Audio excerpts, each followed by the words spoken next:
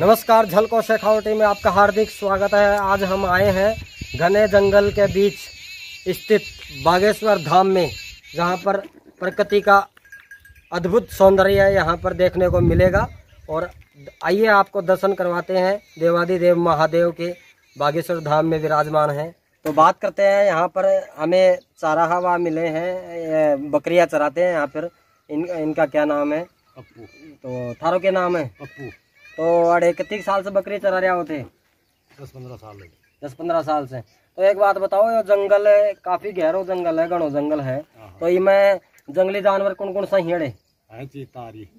चीता और भी है और लाल रंग का भी है शेर। शेर भी ही हाँ। और लोमड़ी भी है?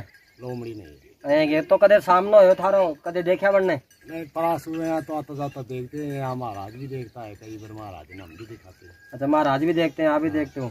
कदे मतलब कोई नुकसान नुकसान हो बड़ी न जा?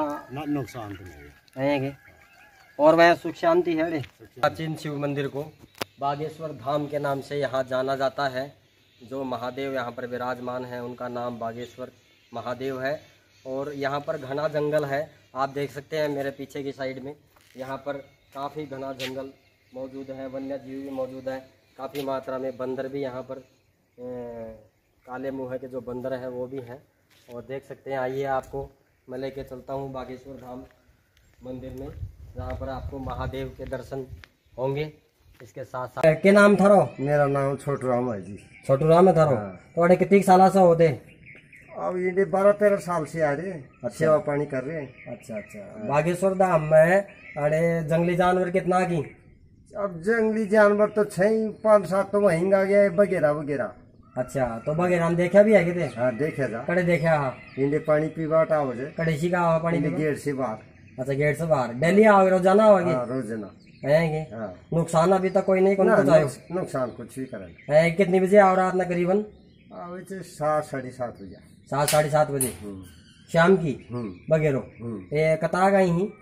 अब मैं तो एक ही देखा था पर वन में कितना छे जंगल में और और जंगली जानवर कतार की? बस यही छे बाबा जी कौन सा विराजमान है इंडे कपूर गिरी महाराज। कपूर गिरी जी महाराज तो ठीक है बाकी महादेव जी को मंदिर तो काफ़ी हज़ारों साल पुराना हाँ, वो तो पुरानी शिवलिंग से रहेंगे। और सावन में कतई भीड़ रहा है सावन में खूब भीड़ रहे खूब भीड़ रहे है। हाँ। हाँ। और बाकी बरसात हो है कतार दिन होगा?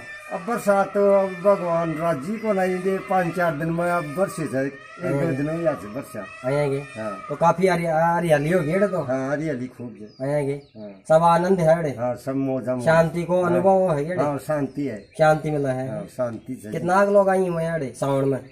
सावन में भी यह समझो न चालू भी नहीं छे दिन भर। सुबह से शाम तक। आया ना? हाँ। अब हम आपको महादेव के दर्शन कराने जा रहे हैं। जो अति प्राचीन काल से यहाँ स्थापित हैं, बागेश्वर धाम मंदिर में। तो आइए चलते हैं आप हमारे साथ और भगवान है, अति प्राचीन मंदिर है। आइए मेरे साथ और आप दर्शन का लाभ उठाइए। इस घने जंगल में स्थित महादेव के, जो बागेश्वर धाम के नाम से यहाँ शिव परिवार के साथ विराजमान है।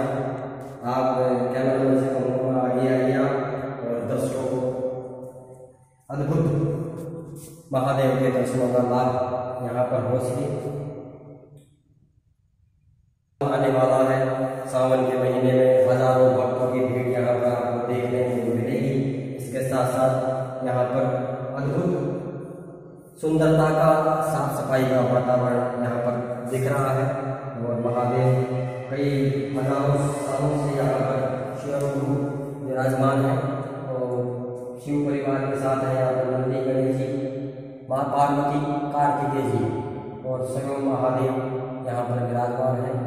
तो इसी तरह हम आपको आगे भी अत्यंत अन्य महत्वपूर्ण धार्मिक स्थलों का दर्शन कराएँगे। बागेश्वर धाम के इन जंगलों में आप देख सकते हैं राष्ट्रीय पक्षी मोर को। नृत्य गान की मुद्रा में है और देख सकते हैं आप घना जंगल, जहाँ प्रकृति अपनी सौंदर्य की छटा बिखेर रही है। साथ ही यहाँ पर अत्यंत रमणीय स्थल देखने को मिलेगा।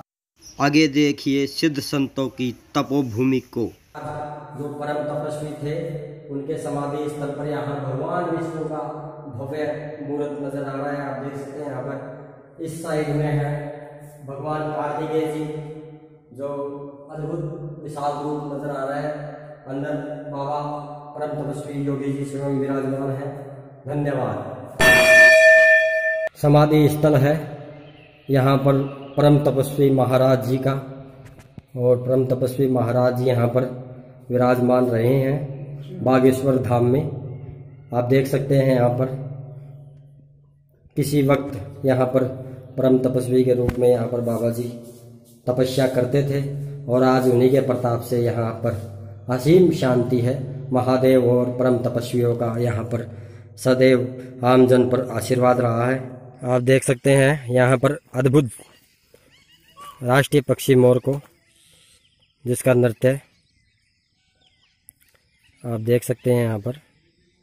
प्रसन्न मुद्रा में नृत्य कर रहा है यहाँ पर मोर।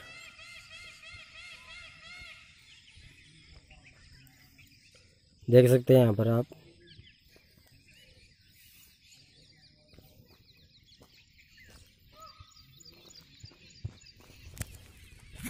इसी तरह की रोचक जानकारी के लिए चैनल को सब्सक्राइब करें। जय हिंद, जय भारत।